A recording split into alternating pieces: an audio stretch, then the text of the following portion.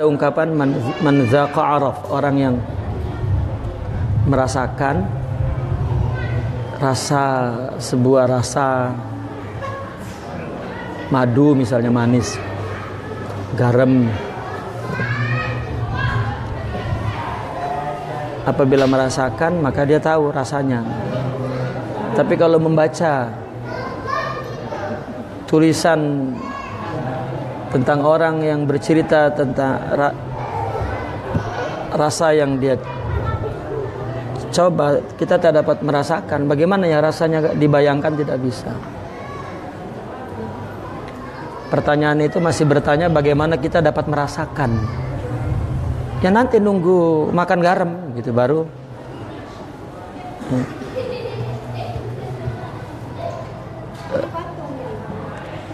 patungnya apa Maksudnya seperti patung itu apa? Terus yang yang bergerak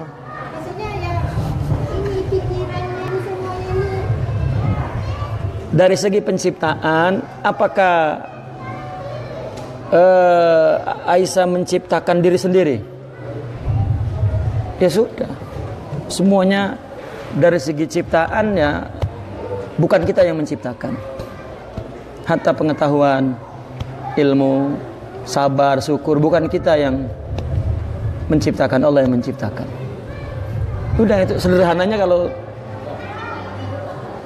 apa? Kalau uh, mendengar ungkapan-ungkapan lain makin tidak jelas, cukup bahwa Allah yang menciptakan sudah. Kalau belum Allah ciptakan kita belum punya sifat apa pun. Karena zatnya saja Allah yang ciptakan. Contoh kita punya ibu, punya ayah, punya anak, bukan kita yang menciptakan. Ya, tapi Allah beri. Ketika Allah beri itulah kita menyebutnya ayah, ibu. Benar? Bukan kita yang bikin, bukan kita yang kalau orang diangkat ini ayahmu ya, ini ini kan dia menganggap ayahnya, tapi hakikatnya bukan. Ini contoh-contoh. Tapi ketika ayah kita itu kita nggak bisa menolak dan kita mengakui dengan fitrah itu ayah. Itu artinya Allah yang memilih bukan kita. Perumpamaannya seperti itu rasanya. Suami bukan kita yang milih. Mungkin Aisyah dulu pengen suami yang lebih ganteng tapi dapat yang ya ganteng juga. Artinya bukan kita yang milih. Itu maksudnya jangan memilih, jangan memang jangan itu mananya bukan kita yang milih. Gitu. Ya.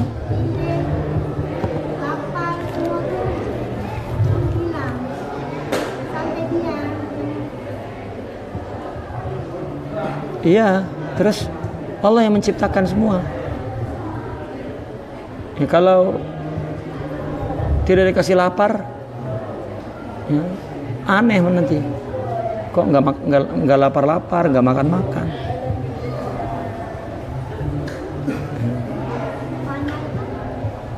Panah itu dia menyaksikan hakikat dirinya bahwa dia tidak ada itu. Itu panah. Kita diadakan oleh Allah. Bukan kita yang mengadakan. Ya, dia tahu itu bukan sekedar pengetahuan.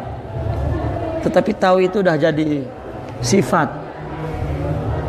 Ya, persaksian fitrah, hakikat bahwa oh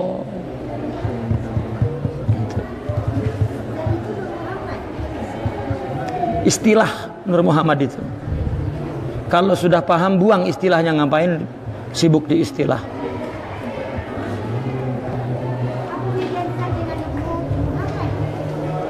Zat dengan nur sifat bukan zat. Kenapa ditanya perbedaannya tidak sama? Tajali pemberian Allah.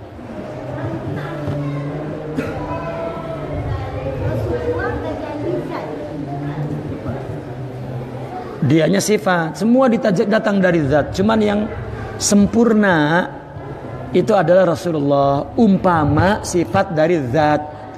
Itu semuanya perangkat istilah untuk menjelaskan satu hakikat yang dipahami oleh ahli kasyaf.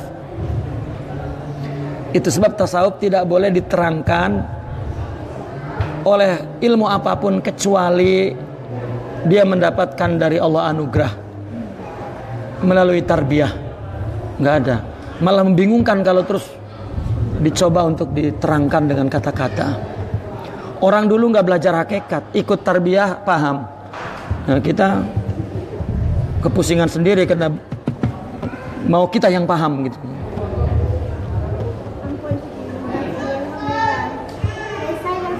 Allah ya khalik. Allah ya khalik. Assalamualaikum. Bismillahirrahmanirrahim. Qala radhiyallahu anhu. Wa nafa'na bihi wa bi ulumihi fid dharain. Amin. Ya rabbal alamin.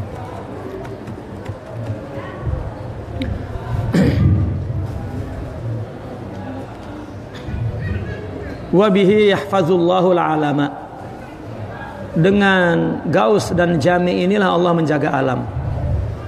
Wahwal mu'abbar anhu istilah yang dibuat oleh ulama sufi untuk mereka ini Mahdi. Kita makanya menunggu Mahdi gitu. Ya setiap abad ada Mahdi. Wal khatim gitu. Khatimul aulia. Wa huwal khalifah.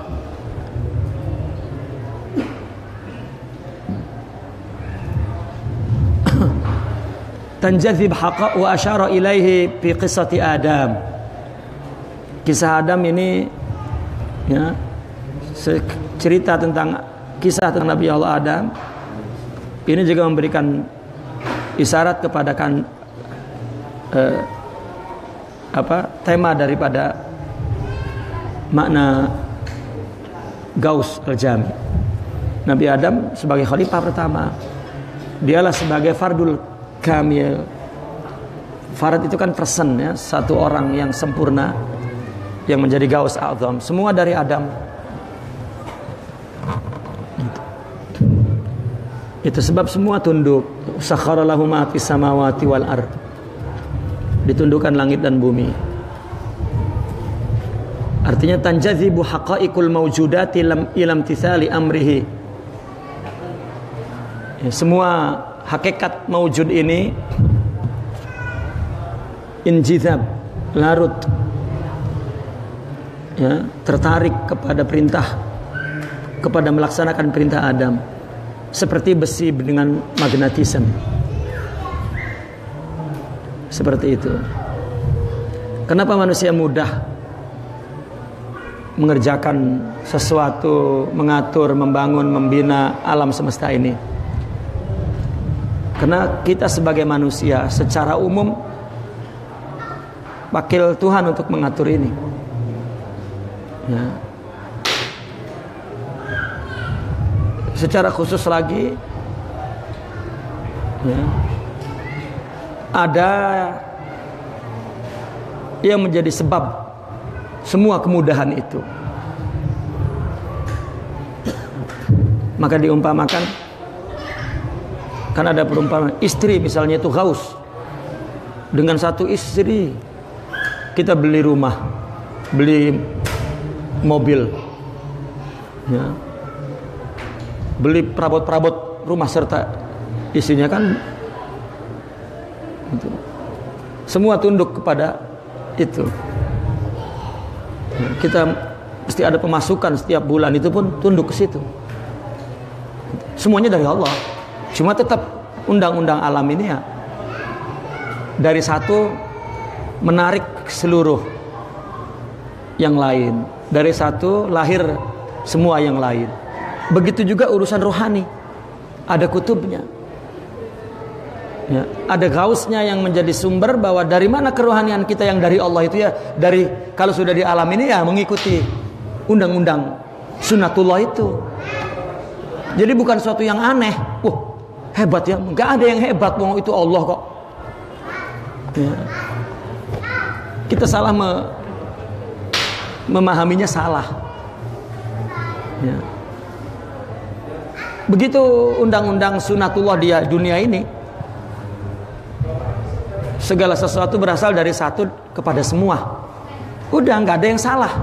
Nggak itu bukan sesuatu khawarikul ada bukan. Itu ada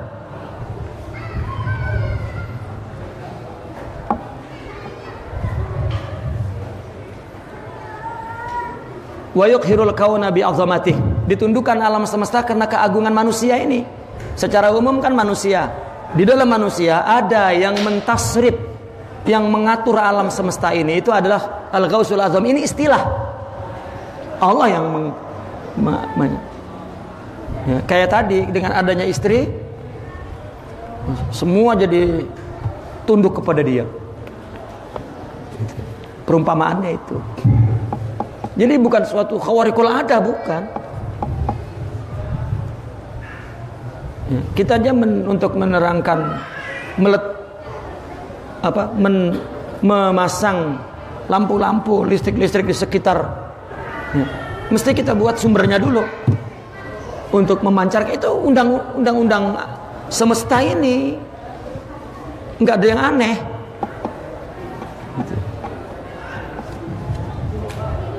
Contoh di sebuah daerah, dulu di situ ada sumber moral, sumber akhlak. Ketika mati rusak semua, itu bukan satu ya, yang salah, bukan.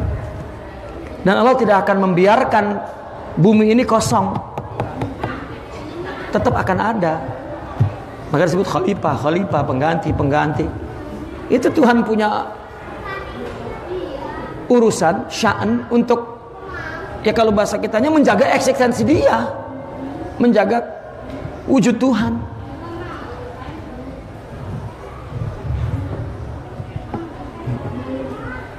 Misalnya kelemahan umat Islam dari akhlaknya. Berarti ya, umat Islam semua eh, apa jauh dari persoalan kerohanian. Berarti jauh dari sumber itu Jauh dari sumber itu.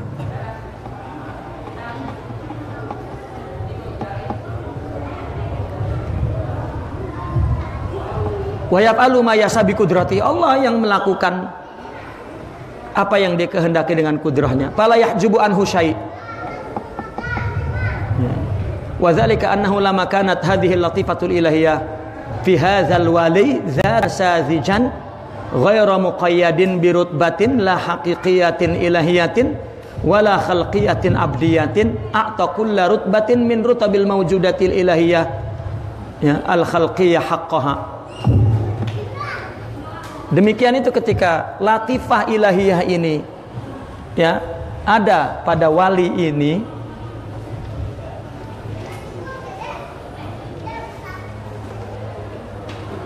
uh,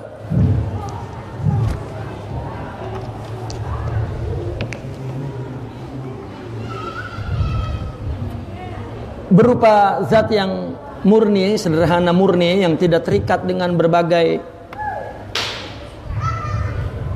rutbah, martabah. Ya. Tidak hakikiyah ilahiyah, tidak khalqiyah abdiyah. Istilah zat murni itu belum disebut ya hak ilahiyah. Ilahiyah itu sifat dan asmanya, ya. Hakikat ilahiyah itu sifat-sifat ilahiyah. Asma-asma Allah sifat-sifat Allah. Zat itu bukan untuk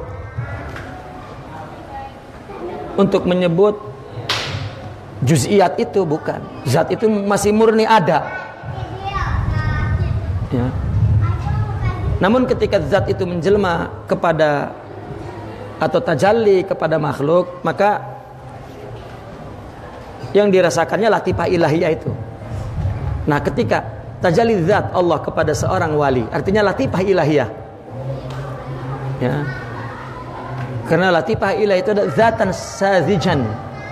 Zat yang sazij. Maka dia akan menjadi sebagaimana semua berasal dari zat sifat itu, maka yang ditajalikan oleh Allah zat kepada seorang wali maka dia menjadi sumber segala semua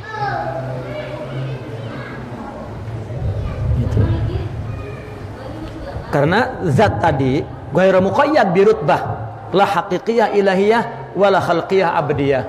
Dengan istilah lain dia punya sifat somadiyah. Makanya kul huwallahu ahadun. Allahus samadu. Nah itu. Dia tidak perlu kepada yang lain. Dia tidak mendapatkan dari yang lain tapi yang lain mendapatkan dari dia. Karena dia Allah jadikan sumber. Gitu. Ini persoalan rohani. Mungkin orang yang menjadi sumber itu seorang petani mungkin. Ya yang setiap hari mencari makannya kesusahan misalnya. Gitu. Itu itikad orang sufi.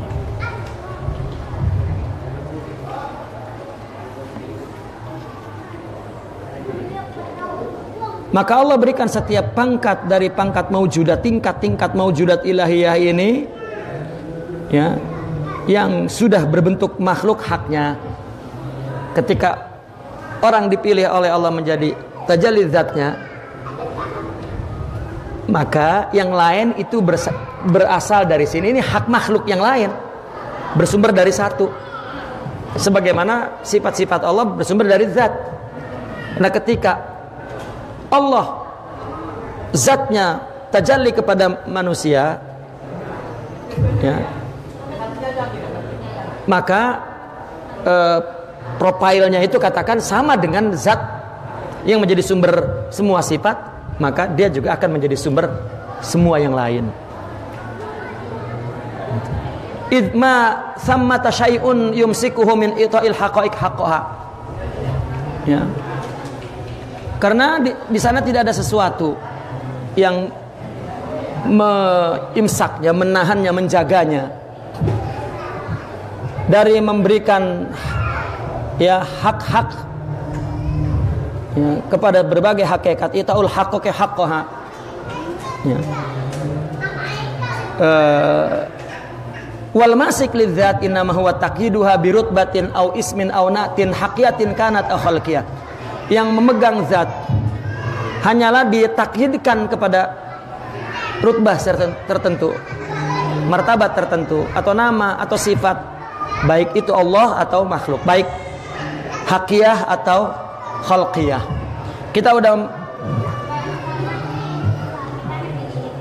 membagi dulu antara Allah dengan Rahman. Allah ini hakiyah, Rahman ini yang sudah akan bukan apa yang sudah dijelmakan kepada makhluk. Maka Rahman ini adalah khalqiyah. Bukan ada dua. Itu sebab di dalam Al-Qur'an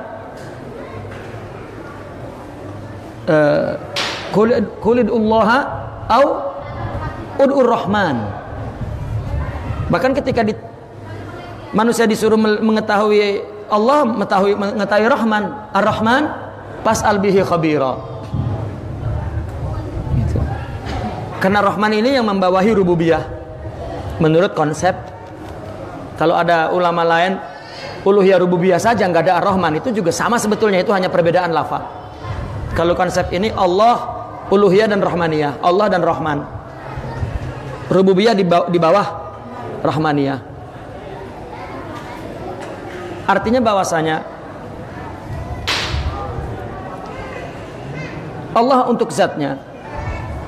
Maka nama-nama zatnya dan martabat-martabat zatnya ahadiyah, huwiyah, iniyah, wahidiyah, wahdaniyah ini untuk hakiyah Allah.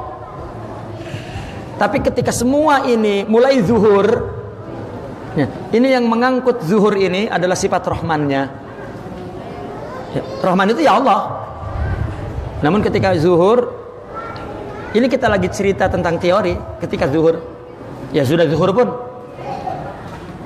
disebutnya Rahman karena Rahman ini ya ya katakanlah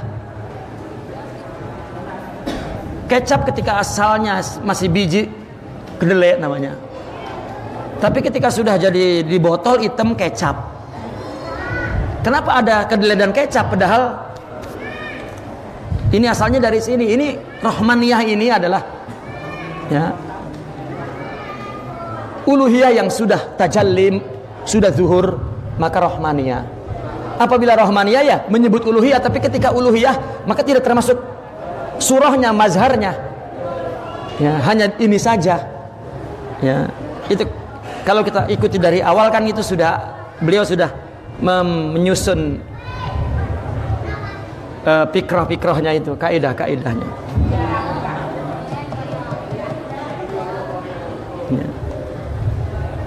Maka Ar-Rahman pas albihi khabira.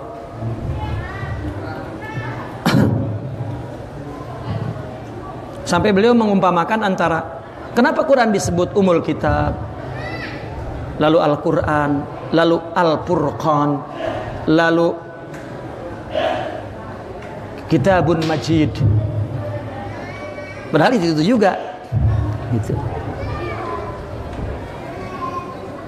Ya filosofisnya dilihat dari berbagai sisi gitu. Ketika melihat Allah melalui apa yang telah dijelmakannya, dizuhurkannya Ar-Rahman. Kalau tanpa melihat ininya, melihat Allah ya kepada ya zat yang mewujudkannya maka ini hakiyah, ini uluhiyah.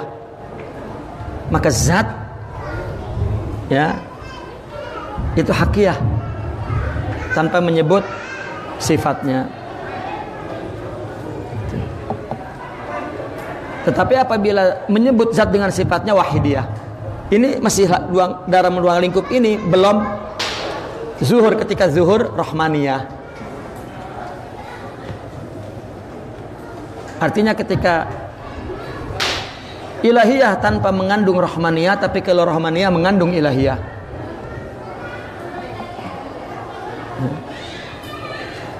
Nah, konsentrasinya sebetulnya hanya untuk mengesahkan Allah saja, udah. Nggak ada yang nggak Allah itu. Nggak ada yang nggak dari Allah.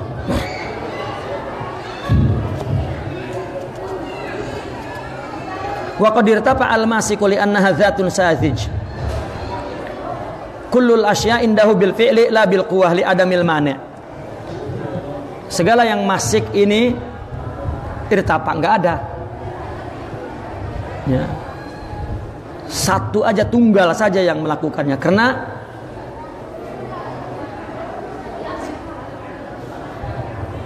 zat itu adalah ahadiyah itu adalah atau hakiyah itu adalah zatun sazij murni zat. Yang menjadi asal segala sesuatu. Kullul asya semuanya indahu di sisi Allah bil fi'al bil fi'al itu kepastiannya. Ya.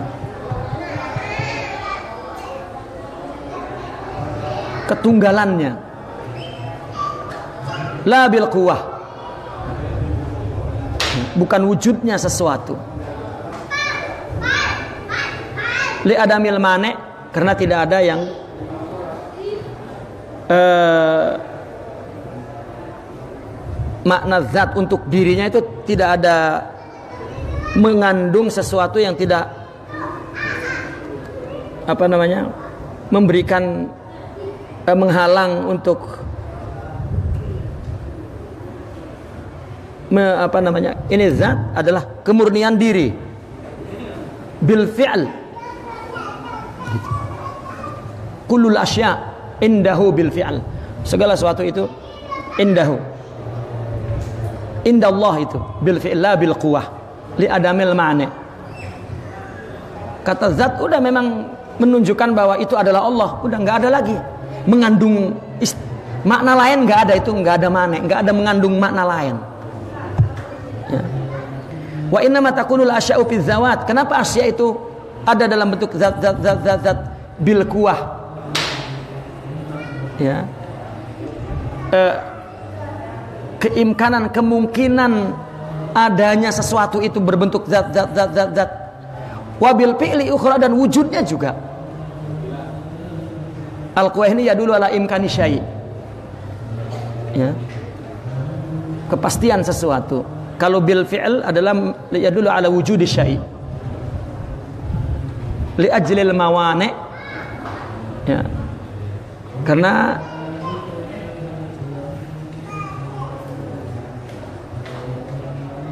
demi adanya sesuatu yang meng, apa namanya meng, mencegah daripada mengandung makna lain itu mawane partiba'uha lalu bagaimana mengangkat mawane itu? Imma biwaridin ala zat datang kepada zat. Au sadirun anha keluar dari zat wa qad yatawaqqaf irtifa'ul mane bihalin au waqtin au sifatin au nahwi ma dzukir. Terkadang mana itu hilang ya itu bergantung kepada satu kondisi satu waktu atau sifat ya, atau seperti yang telah disebutkan waqad tanazzahatiz zatu an jami'i dzalik. Terkadang zat disucikan dari semua itu. Fa'ata kulli syai'in khalaqahu tsumma hada. Setiap yang Allah ciptakan Allah berikan ya haknya dan kemudian Allah ciptakan segala sesuatu kemudian Allah yang mem membimbingnya menunjukkannya. Laula anna ahlallahi ta'ala muni'u min tajallil ahadiyah fadlan an tajallil zat la tahadasna fi dzati bi gharaibi tajalliyat andaikan ya ahli Allah itu terhalang dari tajalli zat apalagi tajalli eh, ahad apalagi tajalli zat maka kita akan bercerita ya, bahwasanya di dalam zat ya, dengan cerita yang paling garaib paling aneh tentang tajaliyat dan juga ajaib tadaliyat tadaliyat tadalli dengan tajalli sama tadalli ilahiyah. Yang zatiyah mahdhah. Lais yang lais alismin wala wasbin wala ghairiha fiha majal wala dukhul. Ya. Tidak ada selainnya majal dan tidak ada campur tangan. Tidak ada nama tidak ada wasaf tidak ada. Ya. andaikan laula andaikan tidak ada. Anna ahli lahi muni'u ya. karena susahnya diungkapkan untuk diberikan nama-nama kalau orang sudah ditajali zat seperti zat adalah nama sederhana yang murni untuk sebuah ada yang mutlak. Tidak bisa ini mengandung makna lain selain zatnya dalam itibar sifat asma ya. Maka ketika makhluk yang ditajalikan oleh Allah zatnya dia akan menjadi sumber yang lain susah dibilang kata beliau ini. Kalau bisa saya bilang maka ceritanya aneh-aneh. Goroib. Gitu. Itu sebab kata zat dan ahadiyah untuk wujud mutlak itu sudah lafal bil fi'li wa bil quwah karena nama itu sudah mengandung mawane. Ya. sudah mengandung sifat protek protek ya untuk mengandung makna lain zat itu adalah wujud murni sudah gitu maka yang ketika yang diterjalikan zat maka ini menjadi sumber segala sesuatu ini kan buku ini men, men, men, men, menerangkan tentang Al-Insanul Kamil. Ya. Dia ingin menceritakan kamil yang asli yaitu Rasulullah Shallallahu Alaihi Wasallam. Apa ada orang seperti Rasulullah sebelum dan sesudahnya? Sudah itu insan kamil. Nah setiap abad ada yang menjadi wakil Sidna Muhammad disebut Al-Waris Muhammadi. Maka disebut Al-Ghausul Jami' Pada saat itu akan selalu ada. gitu. Kita nggak nggak nggak nggak nggak mesti dari mana. Kita nggak pernah nanya uang yang masuk ke kantong ini dari siapa ya. Dari orang kaya yang lagi nyebarin uang nggak perlu tahu. Yang penting kita makan minum selesai. Ada uang. Namun beliau menjelaskan hakikat. Dalam dunia lain ada ya sesuatu dalam sektor lain bersumber dari itu. Dalam dunia rohani pun begitu. sampai diterangkan dalam bab suhbah orang kalau dekat minyak wangi meskipun enggak kebeli tetap ya ke, kecium baunya gitu. Artinya dapat ya sampai dicontohin begitu. Artinya ketika orang ingin berilmu maka jangan jauh-jauh dengan orang alim. Ketika orang ingin dekat kepada Allah jangan jauh-jauh dengan orang yang dekat. Udah sederhananya begitu saja. Ya, ya kalau ingin dapat kecipratan ya jangan jauh-jauh dari orang bisnis gitu.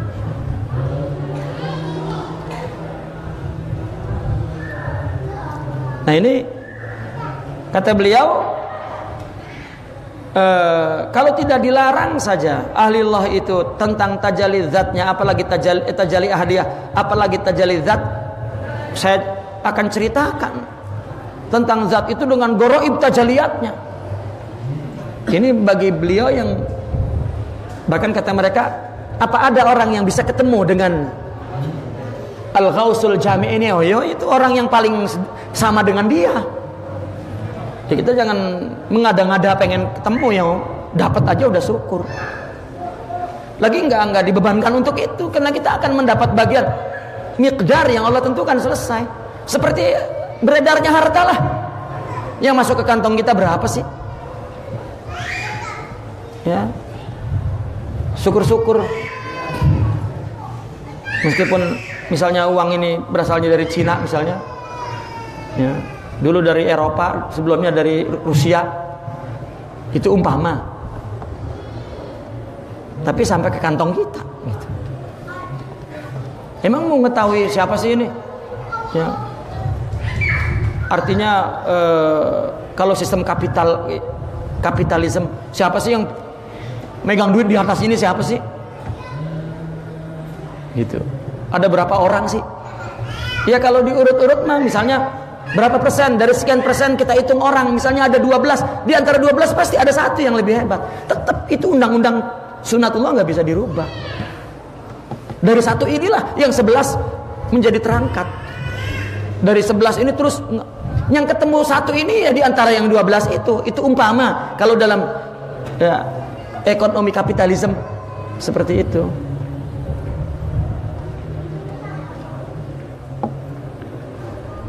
Nah, ketika dalam uh, dunia rohani orang jadi dibikin aneh-aneh.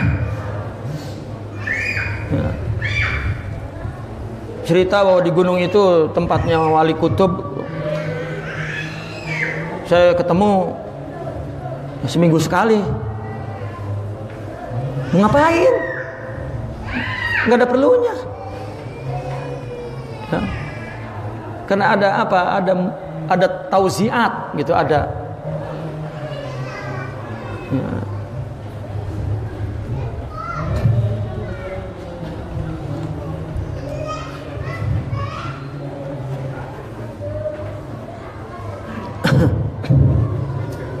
Bal kunna nunazziluhu min maknuni khazaini ghaibih bima patihi ghaibih ala safahati wajhi syahadati bi altafi ibaratin wa azrab isyaratin.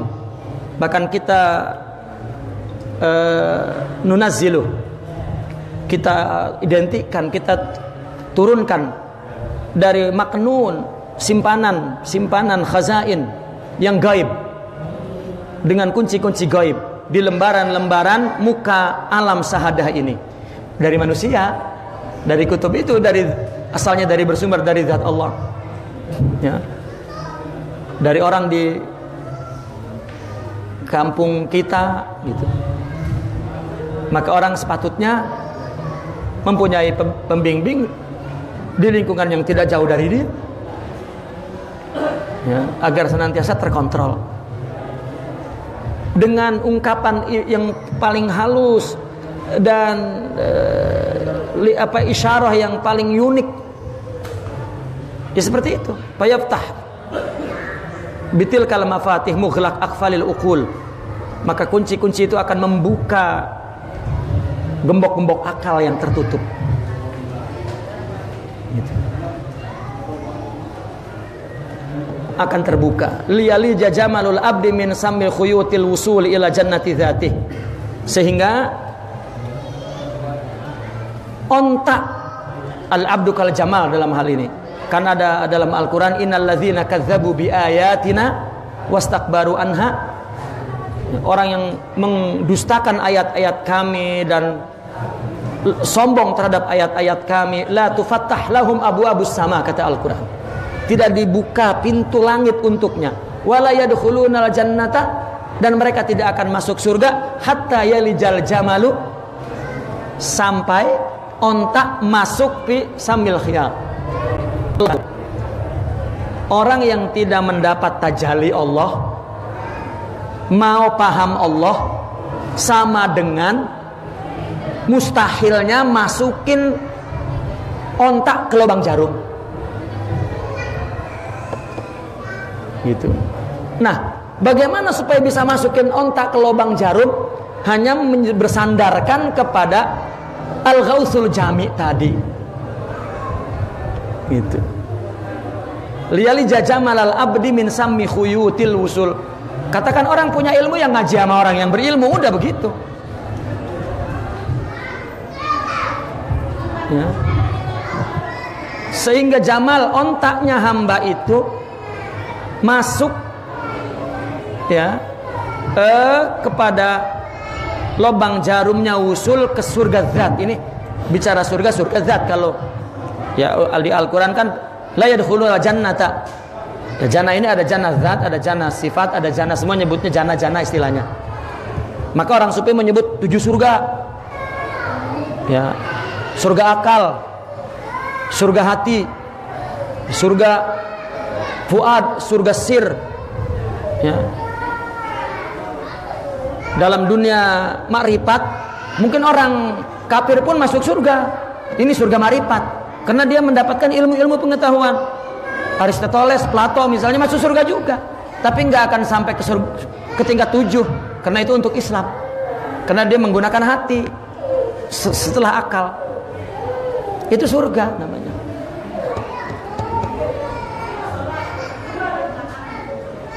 Yang dia bisa nikmati di sini tentram, ridho, aman, nyaman. Ya, enggak goncang, enggak stres, enggak shock, enggak menderita, enggak kecewa, enggak merana, enggak. Kan surga itu.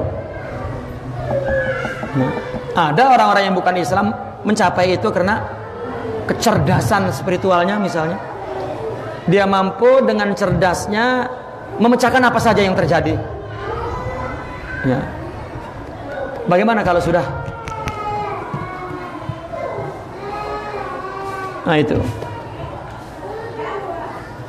Nah maka surga zat ini mustahil bagi kita yang belum mendapatkan ayat tajalli ini, ayat-ayat Allah ini, sifat-sifat Allah ini. Ya. Maka nggak bisa kita masuk ke surga itu. Kalau kita mengingkari ayat. Ya, arti mengingkari kalau bagi kita artinya kalau belum ditajalikan sifat-sifat asma-asma, akhlak-akhlak nur Muhammadiyah itu istilah semuanya. Ya. Sehingga apabila kita eh, apa namanya? kunci-kunci gaib itu maknun khazain itu ya kuntukan jan khafian maknun khazain itu ya kemudian uh, kita lihat dari segi kunci-kuncinya yang ada dalam lembaran-lembaran muka alam semesta ini ya. Maka kita dengan kunci itu bisa membuka gembok akal yang tertutup. Sehingga ontak kita bisa kita masukin ke lubang jarum surga usul kepada zatnya. Gitu. kalau tidak tidak. Al mahfuzah bi hujubus sifatil masunah. Karena zat itu terhalang tertutup terpelihara maksudnya dengan tutup sifat. Yang al masunah yang masih di apa kalau masih di segel ya. Bil anwari wa zulumat dengan cahaya dan zulumat. Dosa, taat, ya lupa, ingat, semuanya anugerah. Yahdillahu linurih mayyasha yang membimbing kita itu Allah kepada cahayanya, kepada yang dikehendaki. Wa yadribullahul amsala linnas. Allah sudah membuat satu amsal dalam kehidupan ini yang berasal dari satu ke banyak itu sudah amsal. Wallahu bikulli syai'in alim. Maka Allah mengetahui kepada segala sesuatu. Nah, ini tentang tajalli zat. Jadi tajalli zat hanyalah ya, karena wujud murni zat itu adalah wujud mutlak. Wujud mutlak itu adalah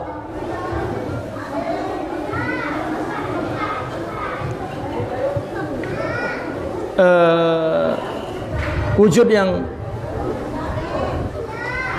murni kata ada tanpa menyebut iktibarat ya anggapan-anggapan sebutan-sebutan sifat nama dan lain sebagainya. Kalau mau kita tanya tajalizat itu bagaimana maka dia akan menjadi seorang uh, apa? Al-ghausul jami qutbul ghaus atau al-ghausul a'zam. Ya. ini menurut i'tiqadat mereka. Ini akidah bagi mereka. Seragam orang yang futuh ya, usul suhud terus mempunyai pemahaman seperti ini ya tanpa membaca kitabnya tanpa mengaji ini kan kitab ini kan baru-baru aja disusun sampai sedetail itu ya.